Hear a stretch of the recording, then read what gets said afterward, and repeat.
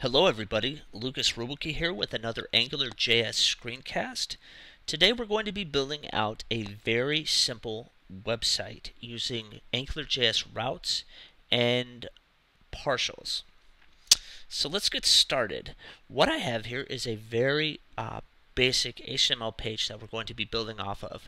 I've went ahead and defined a header as well as styled it out in a container that we're going to actually load uh, the partials in uh, once we get to that point.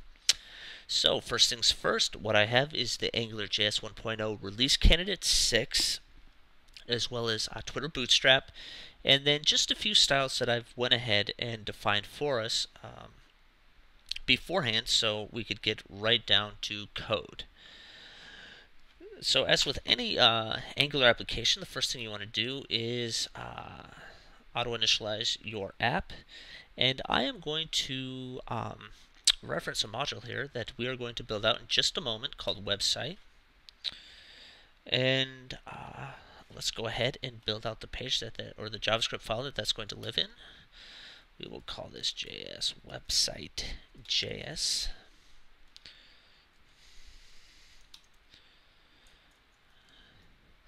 And let's create that. And let's go ahead and just define this module in the most basic possible sense angular module. And let's give it a name of website. And we're going to send it an empty array because uh, we're not injecting anything into it at the moment. And let's go ahead as well um, and create a controller for this entire page and we'll just call this main controller okay and let's just define this as well just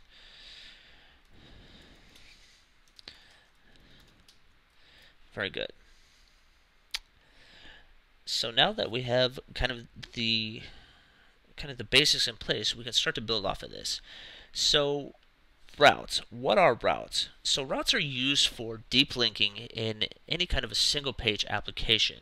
Um, Whereas a flat website with, with multiple uh, files in it, and you're just moving from one to another, is that the URL would just say, hey, go to this page in the website. Well, now with a single page application with you know all of this kind of built into this application, you have to have a way to get there. And so routes provide uh, basically what's called deep linking functionality, where you can basically create a link deep into the application and go straight to that portion of it. And so we are going to be using the, uh, the route service for that. But in conjunction with routes is that you have to define, in Angular at least, a, um, a place for the, the templates that you define with the routes to go. And you do that using uh, ng, the ngview directive, which we are going to define right now. And it's as simple as just creating a div and dropping that directive into it. So now when you create your routes, you have a place for your partials uh, to go to. So let's actually build out the uh, let's build out and define these routes. So we are going to do this using the config method and notice that I'm just chaining it together. That's one of the nice things about JavaScript and Angular in particular. And uh, so we're going to go here. We're going to inject the route provider. And we are now going to start to build out these routes. So let's go ahead and create three routes. Um, I would like to create three routes called about, experiments, and then home routes. So let's start the first one. And we're basically saying when this route happens, process everything in this object. So let's go ahead and go template and partials about.html. There we go. And let's do one more. When experiments template Oops.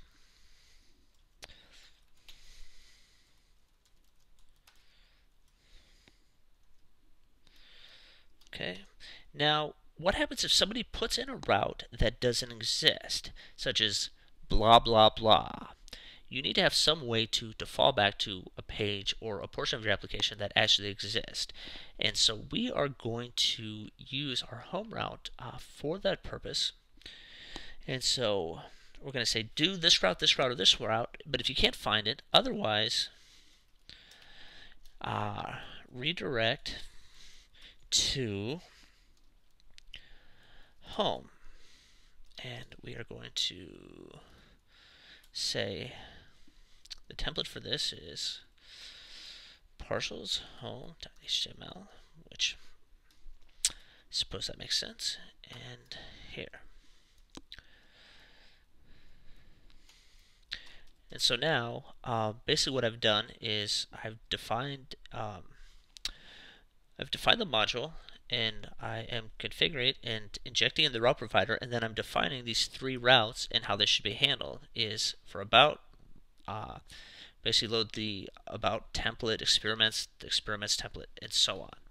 So let's go ahead and load this page and see what happens. Amazing.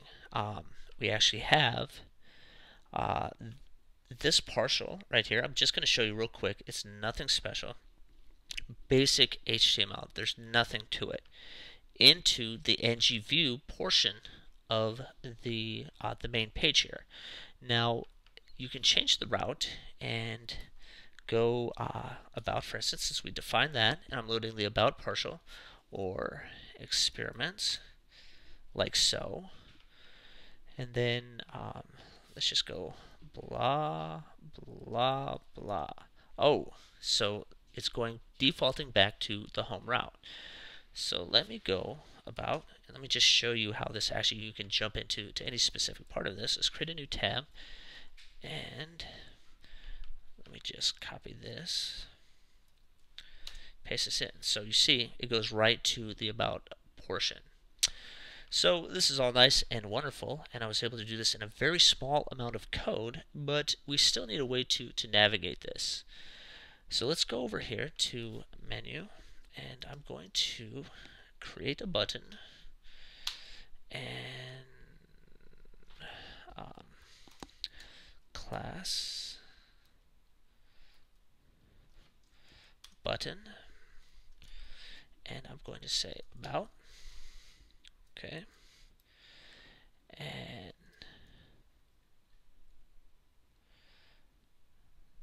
I don't know how that got in there, but I let's say home about experiments. Okay, so let's just refresh this. Now we have three buttons, home, about experiments, but they don't actually do anything. So let's add in some functionality. I'm going to add in ng-click, and um, we're going to define a method on the main controller in just a moment, and we're going to say set route and I'm going to set in the home route like so.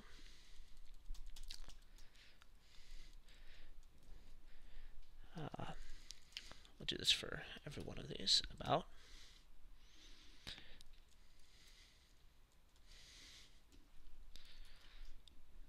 Experiments. Okay, now we need to actually create this method so to do that, you need to inject in the location service. And just we're going to use that in just a moment. So for this method, set route equals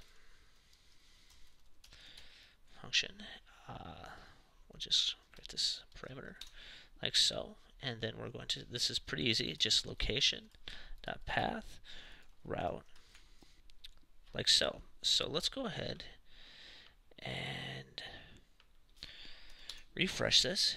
And so if we go home, let's go to About, Experiments, About, Experiments. Now let's click on uh, logo. Nothing happens here, but it could, and it's easy enough to hook up. Um, let's just basically call and ng-click on this. ng-click, set route, home.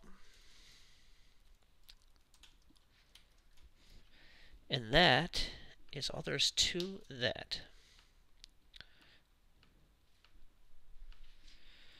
Okay, so pretty easy, super simple website. Let's just take this one step farther, uh, just for fun. In partials, I am going to create a very basic template. And when I say basic, I mean very basic. Let's just call it basic template.html. Let's create an h1 tag and let's just say title. And let's create a paragraph tag and let's say body. Okay, super simple. Let's go back here and let's point to this basic template partial that I just created. Let me just copy this. Okay, so now we actually have a template that is uh, looking for some basically dynamic data, and we need to do something with that. So the nice thing about routes is that you can actually attach a controller to each one of these partials, thus, in a sense, creating you know many applications within a larger application. So let's go controller. Let's call uh, this about controller. That makes sense. Controller. Let's call this experiments controller. Good. And this one naturally is going to be called home controller. Okay, so let's actually just create these real quick. Uh, oops. That's what I was looking for about controller. Uh, experiments controller.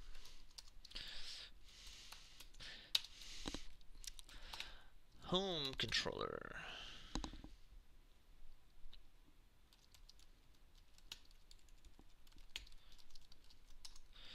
Okay, so I have these controllers defined. Now we actually have to create something to put into this uh, templated partial that I created. So we will go scope, title, so about page, scope, body, and we will say um, this is about page body. Okay, nothing too fancy. Just paste this in here. And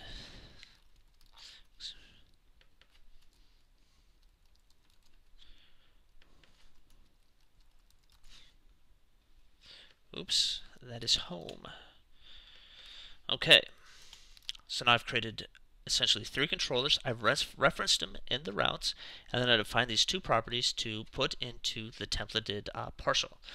So let's just go back here, refresh it, and what is happening? I've just thrown an error, so let's troubleshoot this real quick. Home controller is not defined. That's because I spelled that wrong. Oh yes, thank you Firebug. So let's just go ahead and try this again. Cross your fingers. Voila. So, about, experiments, home.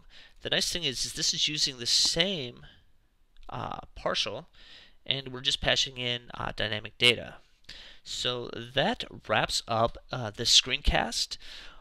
Once again, I'm just blown away about how easy it is to get things done in AngularJS, and that's why I'm just so excited about um, about this framework. You know, I noticed that you know you have just less than 30 lines of code and uh, some directives, and you have basically, um, albeit simple, but you have a fully functional website that you could just bang out for uh, your aunt or your uncle who you know wants to pay you ten dollars. This would be a an appropriate route to go.